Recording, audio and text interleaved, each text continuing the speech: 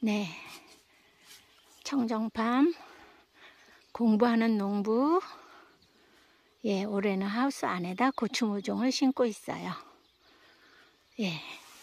올해는 또 저희가 고추 모종을 심는데 조금 다른 방식으로 예, 공부를 더 해서 심는데요.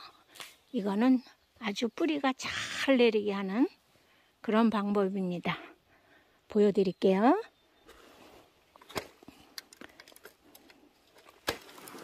여기 보면 이렇게 돼 있죠? 뿌리가 밑에까지 완전히 내려서 엉켜 있어요. 그거를 뜯어주는 거예요. 뜯어서 일일이 손으로 뜯어서요. 이제 한 손으로 하고 한 손으로 찍으니까 이거 뜯어야 됩니다. 네.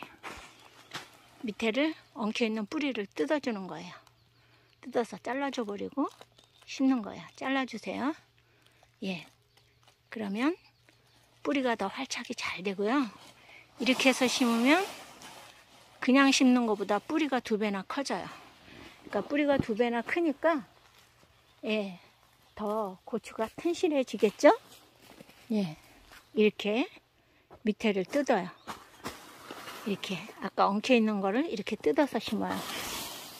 그러면 뿌리가 그냥 심는 것보다 두 배나 커지니까 뿌리가 튼실하니까 고추도 더 튼실하게 자라죠. 예, 이, 이, 방법이 올해 또 새롭게 시도하는 방법입니다. 이렇게 뿌리를 뜯어 놓으면요. 얘네들도 이러는 거예요. 어머나 깜짝 놀래갖고 얘네들도 식물들도 다 생각이 있거든요. 야 우리가 뿌리를 더 열심히 내려갖고 살아남자 이런 생각을 하는 거예요. 그래갖고 뿌리가 두 배로 커지게 활착이 잘 일어나는 겁니다. 예, 그래서 고추가 튼실하게 크고 튼실하게 크는 만큼 병에도 더 강하고 열매도 튼실하게 열리는데 하여튼 열매가 더 튼실하게 잘 열리는 거는 저희가 올해 요거 새롭게 공부해서 또 시도하는 거니까 그 결과를 또 봐야겠죠? 하우스 두 동에다 이렇게 심고 있어요. 이게 이제 너비가 7m라 네 고랑 아니면 좁게 하는 집은 다섯 고랑 하는데 우리는 세 고랑을 했어요. 여기 보세요. 빈 고랑이 더 넓죠. 그래서 동네 사람들이 땅이 아깝대요. 왜 이렇게 넓게 했냐고. 그래서 저희가 이제 고추가 어, 통풍이 잘 되게 하려고 이렇게 했는데 너무 넓게 했나 봐요. 그래서 올해는 할 수 없이 이렇게 했으니까 그냥 하고 내년에는 한 고랑 더 늘려서 네 고랑으로 하려고 그래요. 요거는 이제 이 하우스에 땅 속으로 관수를 묻어서 물을 틀면 이 안에서 이제 물이 나와서 뿌리를 적시게 되어 있는 그런 시스템입니다. 네. 올해는 새롭게 새로운 방법으로 공부해서 고추를 심는 공부하는 농부 청정팜입니다. 네, 여기는 다 심었어요.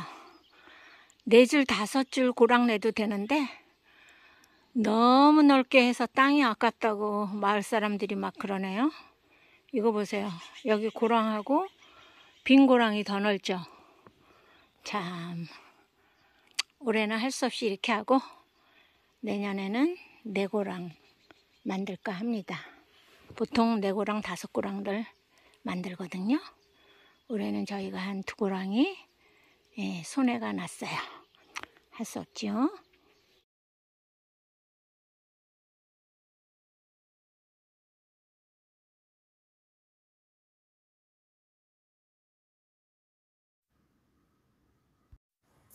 요즘은 라일락 향기가 마당에 들어서면 아주 코를 벌름벌름하게 만들어요. 양쪽으로 심어져 있어서 라일락 향기가 얼마나 좋은지 몰라요. 금낭아도 피고요. 할미꽃도 피고요. 산골이지만 늦은 꽃이 다 올라왔어요. 오늘도 건강하시고요. 구독, 좋아요도 부탁합니다. 즐겁고 해피하게 지내세요. 감사합니다.